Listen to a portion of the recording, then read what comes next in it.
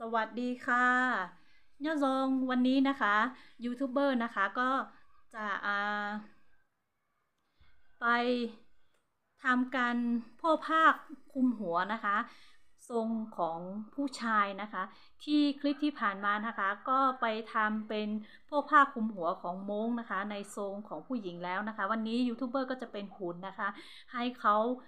พ่อผ้าคลุมหัวนะคะ ทรงของผู้ชายนะคะ ผ้าที่เราใช้นะคะก็จะเป็นผ้าในแนวแบบนี้นะคะ ก็จะมีลายปักนะคะ อยู่ตรงด้านด้านนี้นะคะ เป็นลายปักของม้งนะคะ เป็นลายปักของม้งเนาะซึ่งก็จะมีลักษณะเป็นแบบนี้นะคะ แล้วก็ตัวผ้าก็จะยาวประมาณประมาณนี้ค่ะประมาณอ่าหกเมตรค่ะประมาณนี้นะคะ ประมาณ 6 เมตรนะคะ แล้วก็เดี๋ยวเราจะไปหาผู้ที่เขามีความรู้ความสามารถนะคะ ในการพ่อผ้าคลุมหัวทรงของผู้ชายนะคะ แล้วก็จะให้เขาลองพ่อผ้าคลุมหัวให้กับยูทูบเบอร์นะคะ แล้วก็ให้ว่า มีลักษณะเป็นยังไงนะคะ แล้วก็เราจะได้เห็นว่าเมื่อก่อนจริง ๆ ม้งเขาก็ก็มีการพ่อผ้าคลุมหัวนะคะ เหมือนชนเผ่าทั่วไปเหมือนกัน แต่ว่าลูกทรงอาจจะไม่เหมือนกับเผ่าอื่นนะคะ ยังไงก็เดี๋ยวเราลองมารับชมกันนะคะ ซึ่งผู้เฒ่าผู้แก่ก็สมัยนี้ก็คืออคนที่ทำเป็นจริง ๆ ก็ไม่ค่อยมีแล้วนะคะ แล้วยังไงเดี๋ยวเราลองไปหาดูนะคะ เมื่อกี้ยูTuber ก็ไปขอได้แล้วนะคะ คนที่ขอได้ก็เป็นแม่ผัวของยูทูบเบอร์นะคะ แกจะมาทำให้กับยูทูบเบอร์นะคะ ในการโพกผ้าคลุมหัวนะคะ ให้กับยูทูบเบอร์นะคะ ยังไงก็ขออภัยด้วยนะคะ อาจจะมีเสียงรบกวนบ้างนะคะ เดี๋ยวเราลองมาดูกันค่ะค่ะอันนี้ก็จะเป็นการอ่า ค่ะซึ่งการพกผ้าคลุมหัวนะคะของอผู้ชายนะคะก็จะทำเป็นแนวแบบนี้นะคะ แล้วก็เราต้องไปหานะคะ ผู้เฒ่าผู้แก่ที่เขาทำได้เนาะถ้าคนที่เขาเดี๋ยวนี้ก็ไม่ค่อยมีแล้วค่ะ แล้วก็ถ้าพวกผ้าคลุมหัวนะคะของผู้ชายเนี่ยจะ ไม่มีให้เห็นเลยค่ะ ปกติ ไม่ว่าจะไปงานปีใหม่มงหรือว่างานแบบทั่วไปเนี่ยค่ะ เขาไม่ไม่ไม่เห็นเขาทำกันแล้วนะคะ แต่อันนี้คือยูทูบเบอร์จะหามาให้อ่า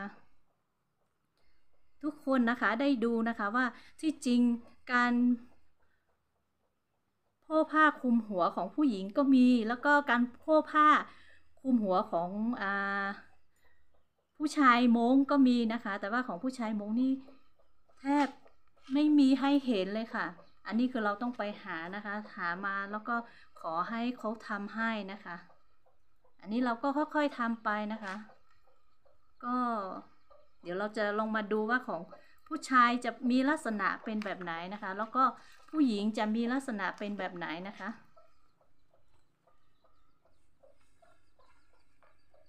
แต่ของดูลักษณะนี้ของผู้ชายนี่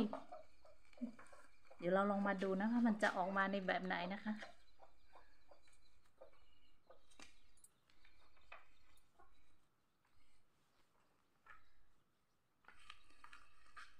แล้วก็คนสมัยนี้แบบเขาไม่ค่อยทำการพ่อผ้าคลุมหัวแล้วเนาะส่วนใหญ่ ไปถึงที่ไหนก็ส่วนใหญ่ก็แบบ ก็ไม่ไม่ค่อยมีให้เห็นนะคะ แต่ว่า มันก็สูญหายไปแล้วค่ะสูญหายไปแล้วนะคะ แต่ว่าายูทูบเบอร์ก็จะไปขอให้คนที่เขามีความรู้นะคะมาทำให้พวกเราได้ดูนะคะ อันนี้ก็จะเป็นทรงของผู้ชายเนาะแล้วก็วันนี้ไม่มี ไม่มีหุ่นที่เป็นผู้ชายมาทำให้นะคะ อันนี้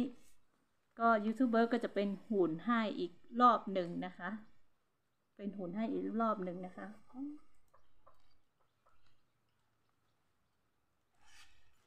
ก็ก็เดี๋ยวค่อยๆ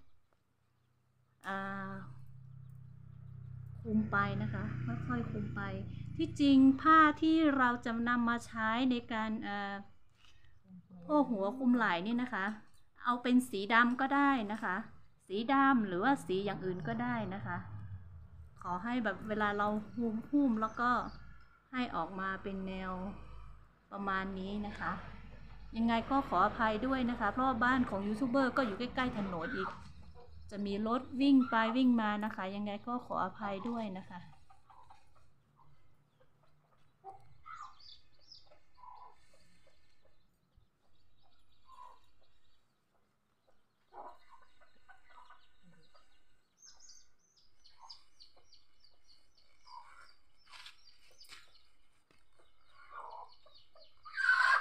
อ ยู่ก็ไม่ว่าว่า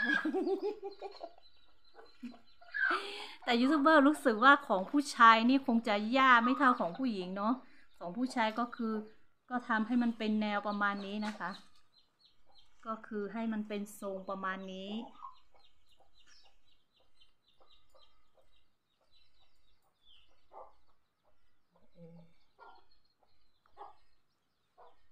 lấy nó rất cả mẹ bố mong chuột khở lên ว่าแต่ว่ายังไม่ก็ไม่สุดสุดตังค์หรอนี่นึกซะเนาะค่ะของผู้ชายนะคะก็จะเป็นแนวประมาณนี้นะคะ ก็ของผู้ชายถ้าพูดถึงผู้ชายกับผู้หญิงเนี่ย ผู้ชายจะทำง่ายกว่าของผู้หญิงเนาะ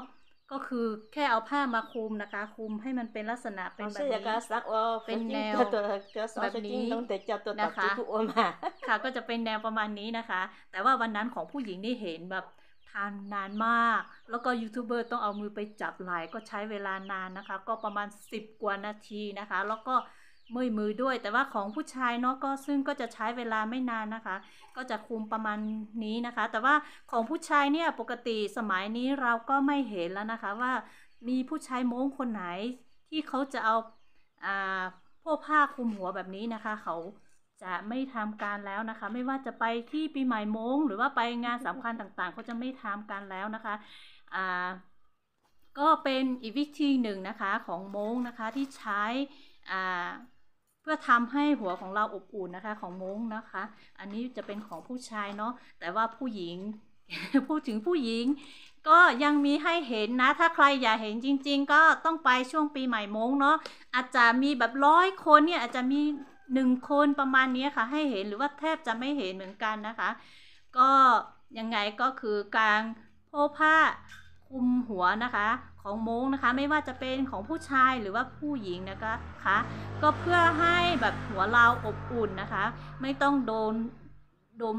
ลมแล้วก็อากาศนะคะ ก็จะทำให้หัวของเราเนี่ยอบอุ่นนะคะ ก็ ยังไงก็ขอขอบคุณนะคะคุณแม่นะคะที่มาทำการโพกผ้าคลุมหัวนะคะให้กับยูทูบเบอร์นะคะ อันนี้ก็จะเป็นทรงของผู้ชายมงนะคะ ยังไงใครที่ชอบคลิปแบบนี้นะคะ ก็ช่วยกดไลค์กดแชร์ กดติดตามให้กับยูทูบเบอร์ด้วยนะคะ แล้วก็เดี๋ยวถ้าว่างๆยังไงนะคะยูทูบเบอร์ก็จะไปหาความรู้ของมงนะคะที่แบบที่แบบไม่มีแล้ว แล้วหรือว่าที่เกือบจะสับสนไปแล้วแบบนี้นะคะมาาให้ทุกคนนะคะได้ดูกันนะคะว่าจริงๆมงเขาก็มีกิจกรรมอย่างนี้นะมงเขาก็มีแบบการาแต่งตัว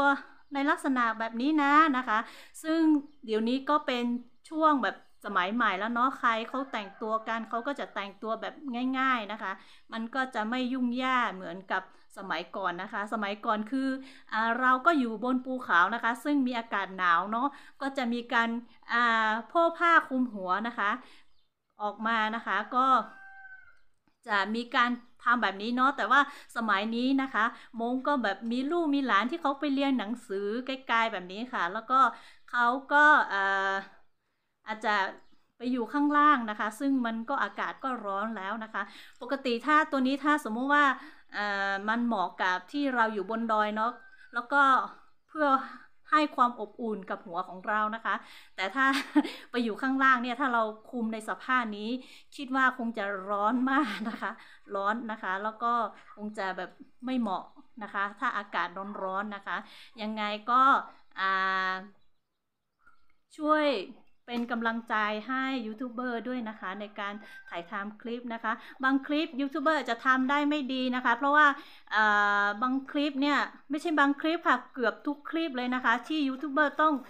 ทำเองตัดต่อเองแบบนี้นะคะ บางครั้งยูทูบเบอร์ก็ไม่มีความรู้นะคะ ไม่มีความรู้เนาะในการถ่ายทำแบบนี้ค่ะ แต่ยูทูบเบอร์ก็จะพยายามทำให้มันดีที่สุดนะคะอ่ายังไงก็วันนี้ก็